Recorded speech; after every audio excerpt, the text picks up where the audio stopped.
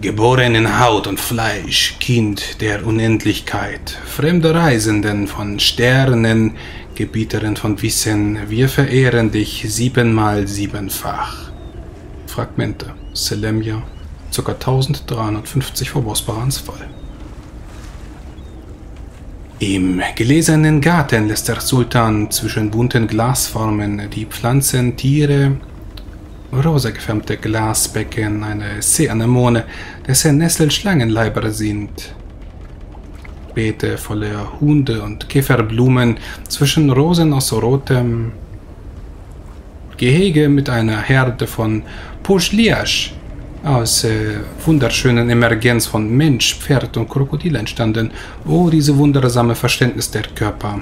In einem Käfig, umgeben von einem seltsamen schwarzen Glas, saß ein eine Kreatur wie diese Binden. Denn die Kreatur stammen aus der Unendlichkeit der Sterne und seiner Unendlichkeit spiegele sich und werde gefangen im Glas. Reisebericht Selemia, ca. 160 vor Bosporans Fall. Und so steht ihr im Krater, im Götterkrater von Fex verflucht, Charybdorot hier unten gebunden und eine ganze Menge Krakoni um euch herum. So steht ihr im Götterkrater und äh, seid gerade aus dem Barlana-Tempel herausgetreten, ähm, wo ihr noch ein weiteres Mal die schreckliche Entdeckung der Fortpflanzung der Krakonia gemacht habt. Habt euch ein bisschen zurückgezogen in die tiefen Spalten, damit ihr zumindest etwas unter euch sein könnt, wenn ihr jetzt beratschlagt, wie es weitergehen soll. Eine eigene Kapitänskajüte gibt es hier unten nicht. Und so blickt ihr euch an. Ja, naja, und dann, also ich denke, das wäre eine gute Idee, oder? Ja, doch, das könnte Also ich muss auf alle Fälle Idee mal sein. Boltax und seine das Selbstgespräche kurieren. Das ist in der Tat das eine ist ganz furchtbar Sache. in meinen Augen. Ich denke auch, ich denke auch. Äh, ähm, die sollten auf jeden Fall. Ja, ja. auch zu Wort kommen lassen? Aber selbstverständlich spricht doch. Ja, sie sollte auf jeden Fall sprechen, nicht wahr? Ich denke auch, das finden wir gut. Redet er mit also, seinem Bruder? Ich glaube, er redet mit sich selbst. Ich denke, er redet mit niemandem. Also los, los. Du, du hast Ihr jedenfalls recht, Efanobra, dass das äh, ein wenig beunruhigend ist, aber ich hoffe, wir können uns darum kümmern, wenn wir oben sind. Wo wir gerade bei dringend notwendigen Dingen sind, Kapitanie, es erscheint mir, als würde das äh, örtliche Problem einer dringenden Lösung bedürfen. Ich habe starke Meinungen dazu, wie wir es lösen sollten, aber die Frage ist, was der Wille Koas ist. Denn ich glaube, wir wollen uns nicht gegen den Willen Koas stellen. Der Ventilio wirft die Hände in die Luft und hält die Klappe. Naja, was naja, ist Wasser, euer, euer Vorschlag? Naja, es gibt zwei Möglichkeiten. Wir könnten entweder den Hai befreien oder wir schaffen, äh, diese politische Situation zu unseren Gunsten aufzuklären. Ich denke auch, das ist eine gute Möglichkeit. Naja, beides jedenfalls.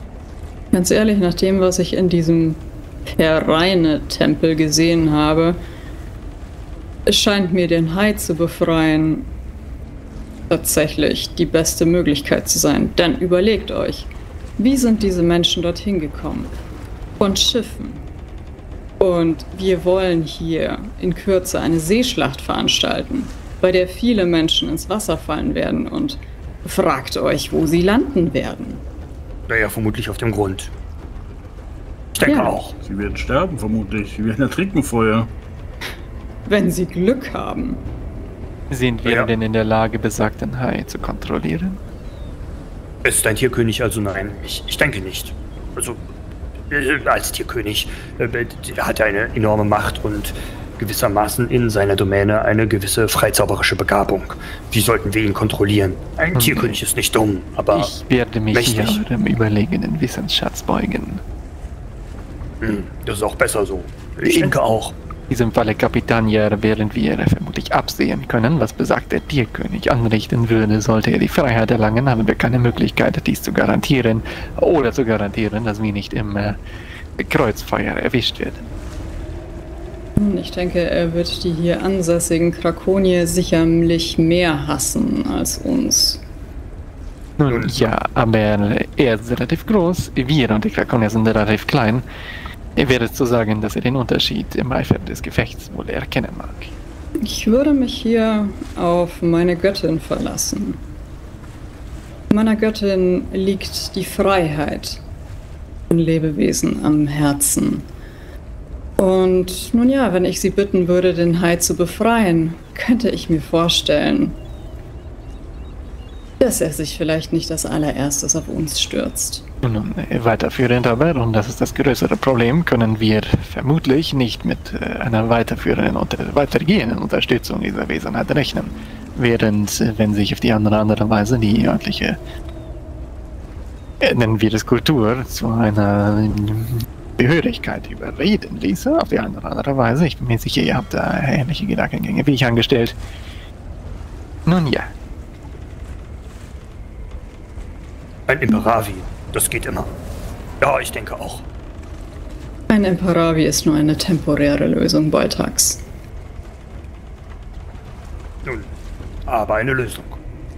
Wie gesagt, ich denke, dass hier tatsächlich der Wille Kors das Ausschlaggebende ist.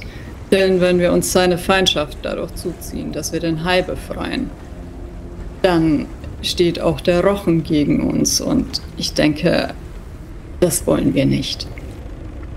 Also, sie schaut mal zu Rafim. Wenn wir hier mit einem klaren Missionsauftrag sind, dann würde ich von der Befreiung des Hais Abstand nehmen. So schwer es mir fällt. Naja, ich würde sagen, wir tun beides. Dann bliebe nur die Frage, wie wir ihn befreien wollen. Habt ihr die Dicken der Ketten gesehen? Wie ich sagte, wenn ich ein wenig Zeit hätte, würde ich die Göttin anrufen. Und wenn sie es für richtig befindet, wird sie ihn befreien. und unser, Meint, sie hat Einfluss hier unten in der Tiefe? Sie hat keine Anhänger hier. aber wir, wir, sind Wölfe in der, haben überall Einfluss. wir sind in der Tiefe, nicht in einer Nebenglobule. Äh, Nichtsdestotrotz ist es wichtiger anzumerken, dass Voltax, wenn ich mich nicht täusche, über einen reinen Titanium durchverfügt, in der Lage richtig. sein sollte, besagte Ketten zu zerschlagen. Es Ohne ist, Probleme. Es ist marsches Metall. Marschmetall schneidet genug, genauso gut anderes Marschmetall wie anderes Metall, Metall schneidet, also eher schlecht. Ich wäre an dieser Stelle eher bereit, die belagenen Qualitäten des Titaniums gegen die minder magischen des Krakensilbers anzugeben. Nun, ja, ich gehe auch davon aus, dass das Titanium in der Lage dazu ist. Und wie lange wollt ihr brauchen? Mehrere Stunden? Wir sind, nicht, wir sind nicht in irgendeiner Eile. Naja, also er wird nicht Unrecht haben. Damit der Tierkönig gebunden sein ist, werden die Ketten sehr dick sein. Voltax da mit seinem Dolch durch ist da. Zudem seid ihr nicht geschützt vor Lärm. Und nun ja, die sind nicht blind und dumm. Sie werden das sehen, was, was an den Ketten ausgerichtet wird. Meine Liturgie dauert etwa ein halbes Stundenglas und ich glaube nicht, dass die hiesigen Krakonier verstehen würden, was ich tue, Aber außer wenn ihr zu sie, beten. aber wenn ihr sie, aber mir. Also, ich meine, ihr habt mich ja schon uninteressant gemacht. Wenn ihr Zulamin interessant macht, dann äh, würde das ja gut funktionieren. Sie schwimmt dann einfach nach da unten, äh, betet und äh, ihre Liturgie befreit den Hai und äh, alles ist wunderbar. Ja, das denke ich auch. Ich glaube, da hätten wir eine gute Lösung. Aber was Ja. meinst du, Rafi, mit wir sollten beides tun? Sollen wir sie erst bekehren und dann zerfleischen lassen? Naja, Chor ist ja für die Starken, oder? Ja, genau das würde ich tun.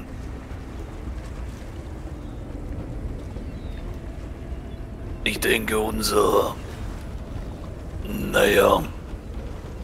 Unser Vorhaben ist ja nicht, hier langfristig den Glaubenkurs zu etablieren, sondern unsere Feinde zurückzuschlagen, nicht wahr? Das ist primäres Ziel, würde ich sagen.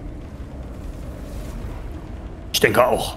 Naja, und vor allen Dingen, wenn wir erstmal den Chorglauben etabliert haben und danach den Hai-Glauben schwächen. Ich denke, das wird gut für uns sein. Nur die Starken überleben. Ja, und ich vermute, wenn der Hai hiermit fertig ist, dann überleben wirklich nur noch die Starken. Ja, das ist sehr chorgefällig, nicht wahr? Wunderbar, dass sich das so ins andere fügt. Ah, wäre schwieriger gewesen mit einem anderen Gott. Stellt euch mal vor, wir hätten den Travia-Glauben hier verbreiten müssen. Ähm, Das wäre schwer. ich habe noch eine Frage. Das heißt, wir kümmern uns jetzt auch gar nicht mehr darum, was der, äh, was der Rat von uns will, sondern wir befreien jetzt einfach diesen Hai. Oh nein, Nein, nein. wir kümmern uns sehr wohl noch darum, was der Rat von uns will. Aber aktuell haben wir Brustruck auf unserer Seite. Würden wir den dann verlieren, wenn wir den Hai befreien, oder ist ihm das dann egal? Ja, deswegen befreien wir den Hai, nachdem wir den Rat auf unserer Seite haben. Ach so, also wir warten erst die Abstimmung ab und wenn dann der Wu entschieden hat, dann befreien wir den Tierkönig. Ich ja, denke nicht, dass es hiernach danach noch viel geben wird, wenn ihr den Tierkönig befreit. Nein, nein, Naja. nach der Ratsabstimmung befreien wir den Tierkönig. richtig. Nun, und äh, was bringt uns die Ratsabstimmung dann noch? Nun, dass wir die Möglichkeit, Auftrag zu erfüllen. genau, dass wir die Möglichkeit haben, für Rafim seinen Glauben hier zu verbreiten. Und gewissermaßen, wirft die Hände in die Luft bzw. ins Wasser und hält die Klappe. und gewissermaßen ist es ja auch so. Wenn er seinen Glauben verbreitet und ein paar von seinen Anhängern überleben, werden diese sich natürlich aufgrund der neuen Glaubensrichtung besonders befähigt dazu fühlen, ihm zu folgen.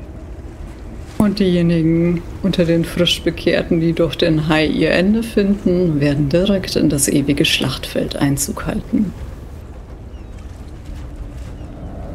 Ja, Naja. Und den Balana-Tempel, den, den, also ich würde niederbrennen, ist jetzt ja auch nicht so, so richtig. Und vor allem ist es ja auch ein Pereinen-Tempel. Aber befreien oder töten wir dann jetzt die, diese, diesen Laichbrot? Diesen Ich denke, das wird- Tempel? ich denke, das wird der Tierkönig machen. Ähm, er wird Keine hier wüten Sorge, und toben. Wenn nicht, werden wir noch einmal nachsehen, denn ich würde zu gerne Proben davon nehmen. Und wüten. Ja, ihr seid widerlich. Und Boltax hat recht, ihr müsst ja auch überlegen, wenn der Tierkönig sich erstmal befreit hat, wie viel Haie habt ihr hier gesehen? Ich vermute, dass er einen gewissen, gewissen Einfluss auf sie nehmen wird und auch sie in eine Art Reiserei verfallen werden. Ist das korrekt, Boltax? Ja, das hast du sehr schön gesagt. Und wüten und toben und wüten und toben. Ja, deswegen vermute ich, dass nicht nur der Tierkönig hier alles ähm, kurz und klein schwimmen wird, sagt man so, sondern die ganzen Haie auch. Und wie wollen wir das überleben? Naja, wir entziehen Das uns dem Ganzen. ist eine sehr gute Frage. Abelmir, habt ihr da Vorschläge? Nicht wirklich. Also meine, meine Sternkraft ist langsam erschöpft. Also ich kann nicht einen Zauber auf alle Leute von uns legen. Nein, nein, darum geht es auch nicht. Ich würde es wieder vorschlagen, mit Sulamin und äh, du bleiben zurück, ihr befreit den Hai, wir schwimmen schon einmal an die Oberfläche oder an einen Treffpunkt äh, mit den Chorjüngern, die Rafim dann um sich geschart hat, quasi der Auszug der Krakonia und ähm, naja, Evanora könnte Delfine rufen, die uns hier herausbringen. Sind sie nicht deutlich langsamer mit uns an Bord sozusagen als ein Hai? Naja, ich vermute, dass die Haie nicht mehr. Ähm, naja, vernünftig denken klingt jetzt komisch für einen Hai, aber ich denke, sie werden nicht mehr bei Sinnen sein. Also ich glaube, hier in der Nähe finden wir nichts, aber ich äh, würde sonst mit Farabut gemeinsam etwas weiter nach draußen schwimmen und dann schauen wir mal, wie viele äh, oder auch welche Tiere wir bekommen. Vielleicht am besten in Richtung von Miamat. Ähm, weil wenn sich da ja sowieso schon jetzt unsere äh, Schiffe gesammelt haben, dann kann ich mir auch gut vorstellen, dass Effert seine Wesenheiten auch dorthin geschickt hat. Das klingt nach einem guten Plan. gut, schön, dann haben wir uns entschieden. Ja, jetzt haben wir aber noch die viel größere Problematik. Wie überzeugen wir erstmal den Rat? Nun, wer vom Rat muss denn derzeit noch überzeugt werden?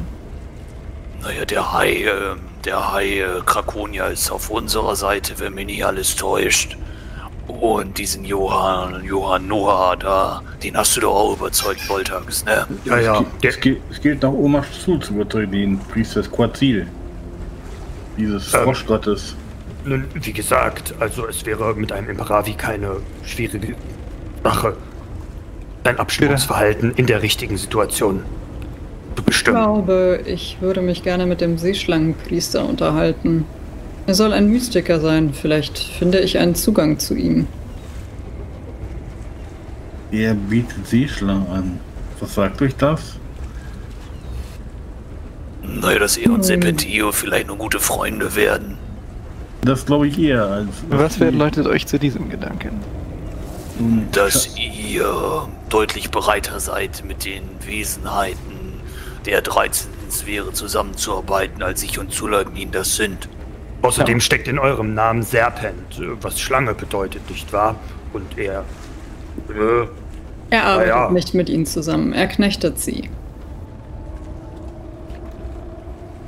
Nun, trotzdem sollten wir erst einmal mit dem Mann sprechen. Wie viele Stimmen haben wir dann? Oder habt ihr Ideen, wie ihr den Froschpriester überzeugt, Abelmir?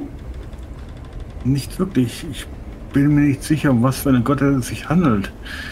Es ist noch et etwas diffus und ominös. Wir denken, dass es mit dem Dämon zu tun hat, der auf Rulat beschworen wurde. hm, das kann sein. Erinnert ihr euch noch, als wir. Wo war das noch? Ich glaube, als wir die Hexen getroffen hatten, kurz vor Chalvins Thron. Hm, Da sind wir auch über ein Dorf gestolpert, äh, das so einen Froschgötzen hatte. Dazu kann ich euch nicht sagen. Jedenfalls wäre ein Auftauchen besagter Entität äh, fatal für unseren Halt bei mindestens diesem einen äh, Ratsmitglied. Ich frage noch einmal, wie viele Stimmen haben wir denn derzeit? Ähm, zwei, Zwei. würde ich vor. Naja, Den, ich's- den Hai, den Ja. Kraken. ähm, welcher war nochmal der Priester, der immer gegen den Anführer stimmen muss? Dies war Guljok der Priester des Yuanao. Äh, bekommen wir den vielleicht doch irgendwie umgedreht?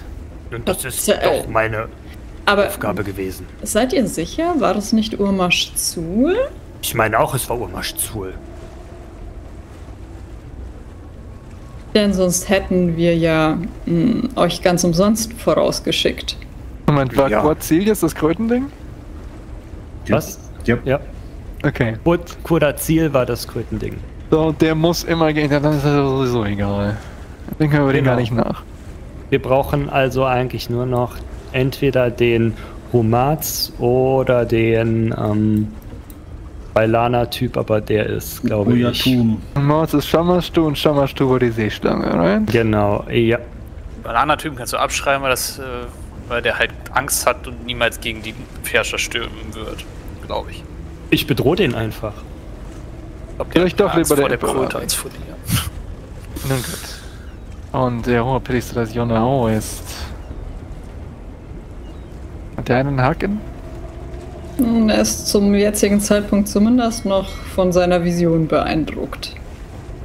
Hoffen wir, dass das anhält.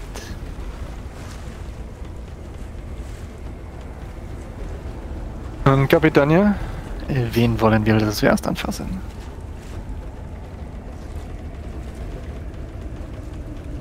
Nun, sehen wir vielleicht einmal, ob wir mit dem Seeschlangenpriester sprechen können oder ob das aussichtslos ist. Passt auf, wenn ihr nach unten schwimmt. Ähm, Als ich nach unten geschwommen bin äh, und das Licht immer seltsamer wurde, da habe ich mich sehr komisch gefühlt. Naja, das äh, haben wir. Das war sehr unangenehm.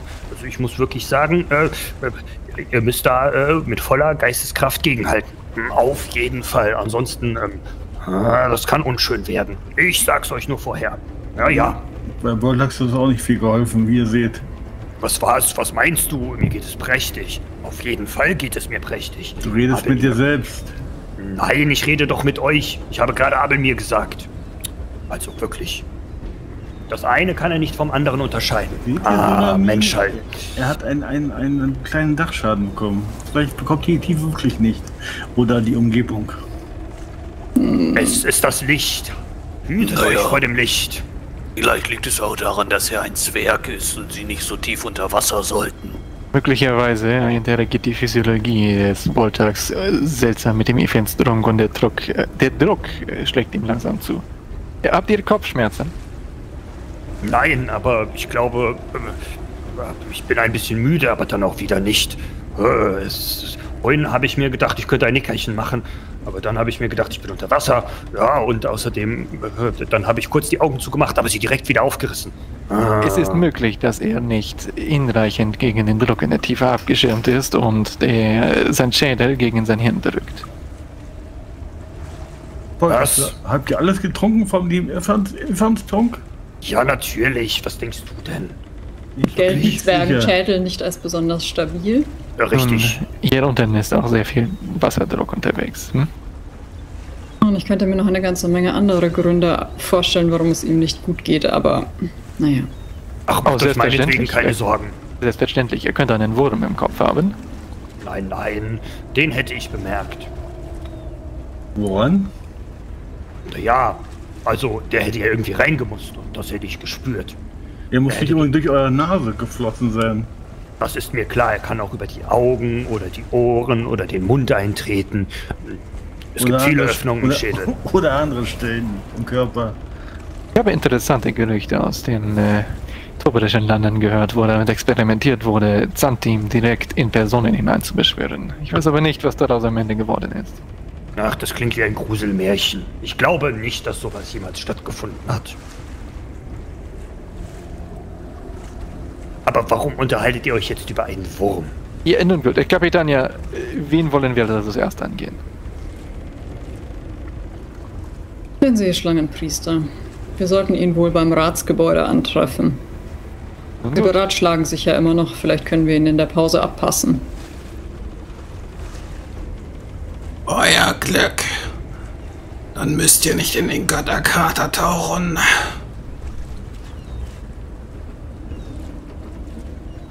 Ähm, was ist damit? Das Licht von Fuchs. Es ist schädlich, verdreht, pervertiert. Und was? Der Wahn der Tiefe. Das ist das, worunter euer kleiner, unterwüchsiger leidet. Dunklen Wahn? Ströme von Jalzurgott. Ach Quatsch, der meint doch nur was. Dunkle Ströme. Wir haben keine dunklen Ströme gesehen. Oder Abelmi, hast du einen dunklen Strom gesehen? Ja, dort waren schon Ströme, aber es war ein, eine Art Dunkellicht eher. Ja, ja, eben. Als dunkler Strom von Wegen. Das ist das. Kosalit. Der Kosalit strahlt ab. Ihr nennt es Krakensilber. Ah, also kommt es nicht von Fex. Ja, Der Meteor kommt von ihm. Aber sie hat es verdreht. Mit ihrer Kraft. Hättet ihr wirklich gedacht, Kapitän, ja, dass einem so gewaltigen, zumindest von der Masse gewaltigen Artefakt, äh, rein göttlichen Ursprungs es erlaubt wäre, in dieser Sphäre zu verbleiben? Gibt es eine Möglichkeit, uns dagegen zu schützen? Nein. Äh, aber dies ist der Grund, warum die Priester sich, wenn sie nicht in die Tiefe hinabtauchen, oben im Tempel treffen. Beim Wur und seinem Krakenthron. Denn äh, selbst die Priester sind nicht gegen das Licht gefeit. Nur die stärksten von ihnen tauchen nach unten, so wie Gulyok oder Rumas. Was suchen Sie dort unten? Ihre Tempel sind dort gebaut. Ihre Tempel liegen am tiefsten, weil ihre Kaste die höchstgestellte ist. und was wäre eigentlich, wenn so ein Tempel kaputt geht? Dann wäre doch ein Platz im Rad frei, nicht wahr? Er überlegt. Äh, wir haben viele Götter, die nicht angebetet werden und die auch keine Tempel haben. Äh, entweder wird ein neuer Tempel gebaut oder der Priester verstoßen. Ich kann mir letzteres vorstellen. Wenn er seinen Tempel nicht schützen kann, ist er die Kaste nicht wert. Shidrakon hat auch keinen Tempel bekommen. Na ja, dann haben wir doch eine Möglichkeit. Und der Tempel, Hinterhand. der Tempel von Heskatet wurde vernichtet. Mit der, nun ja, Abwesenheit von Mordor.